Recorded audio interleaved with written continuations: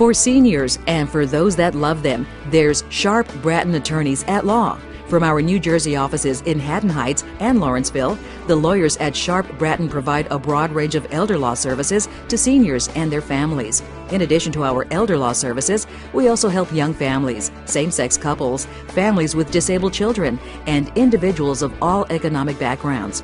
Our services include retirement and tax planning, wills, trusts, and powers of attorney, Medicaid and nursing home admissions, and much more. For more information, visit our website or call the attorneys at Sharp Bratton today.